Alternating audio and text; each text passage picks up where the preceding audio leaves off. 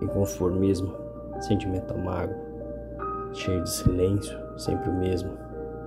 Certa vez ouvi uma história de glórias, feitos, memórias, só história.